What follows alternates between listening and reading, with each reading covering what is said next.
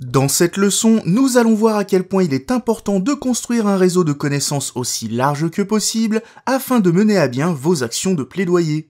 Mais avant cela, première question, qu'est-ce qu'un plaidoyer? Eh bien, un plaidoyer, c'est tout simplement une défense passionnée.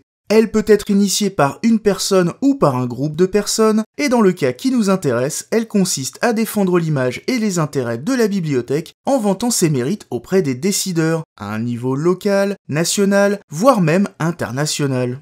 Mais une campagne de plaidoyer, ce n'est pas seulement une défense, elle doit aussi comporter un objectif précis. Par exemple, faire du plaidoyer pour que votre bibliothèque ait plus de personnel constitue un objectif bien trop vague et donc difficile à défendre. Par contre, si l'objectif visé est d'élargir les jours et les horaires d'ouverture de la bibliothèque, il s'agit d'un objectif précis et quantifiable qui correspond à une augmentation des ressources humaines et donc du budget qui leur est dédié. L'objectif ici est clair et visiblement tourné vers l'intérêt général des usagers et ce sont des atouts essentiels pour mobiliser vos interlocuteurs.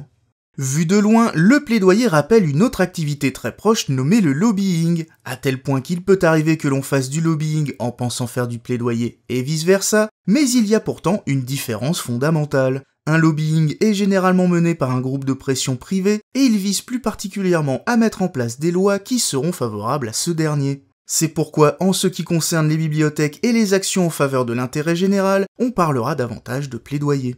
Pour que ce plaidoyer soit vraiment efficace, il va falloir mobiliser votre réseau. Mais attention, pas de malentendu. En effet, quand certains entendent le mot réseau, ils imaginent un genre de mafia rassemblant des gens à la moralité douteuse, alors qu'en vérité, il s'agit plus prosaïquement de se constituer un carnet d'adresses rassemblant des personnes ou des groupes favorables à votre action. C'est ce qu'on appelle le réseautage. Pour commencer, vous pouvez vous adresser aux parties prenantes, c'est-à-dire à ceux qui sont directement concernés par votre action.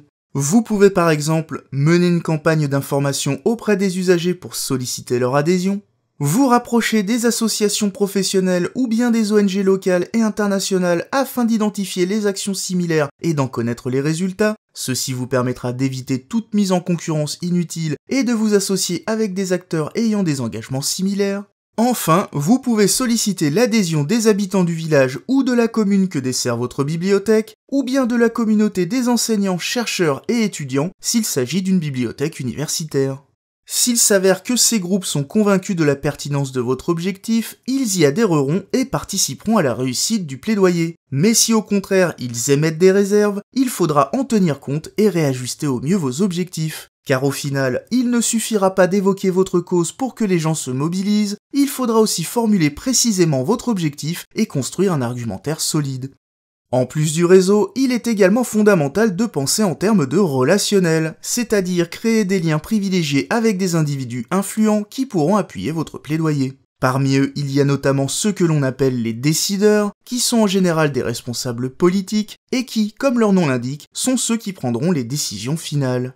Pour mieux les convaincre, il va vous falloir quelques solides soutiens, à commencer par celui du directeur de votre bibliothèque. En effet, si ce dernier est convaincu du bien fondé de votre démarche, cela ne peut que faciliter la réussite de votre plaidoyer. A l'inverse, s'il se positionne à contre-courant, vous pouvez vous attendre à rencontrer des difficultés supplémentaires pour convaincre votre rectorat, votre conseil municipal ou bien vos ministères.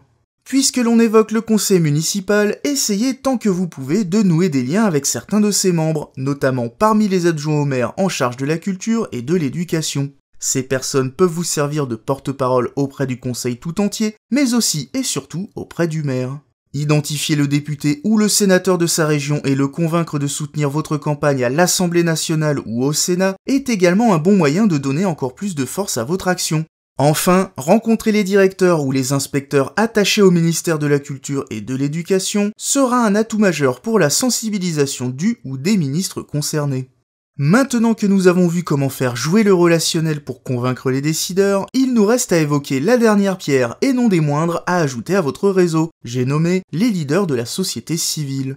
Il peut s'agir d'un sportif ou d'un artiste connu et respecté, d'un universitaire engagé, d'un homme d'affaires fortement penché vers le culturel, d'un enseignant impliqué, d'un journaliste ou tout simplement d'un chef de village. Bref, de toutes les personnes bénéficiant d'un rôle ou d'une influence particulière dans la vie de la population et qui constituent de ce fait des ambassadeurs d'envergure pour votre plaidoyer si vous arrivez à les convaincre bien sûr. Pour conclure, gardez bien à l'esprit que si vous voulez garder votre réseau fonctionnel et bien huilé, il vous faudra observer en permanence les relations de pouvoir dans votre environnement sociopolitique direct afin d'en identifier les cibles les plus pertinentes. Cette leçon est désormais terminée et je vous dis à très vite dans une prochaine vidéo.